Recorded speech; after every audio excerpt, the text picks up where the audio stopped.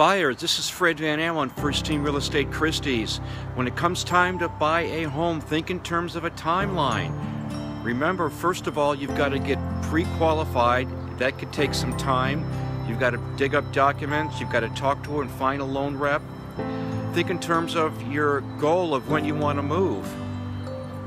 You want to get to a certain home by August for a school district change. So give yourself time to search online. Give yourself time to search out and interview agents.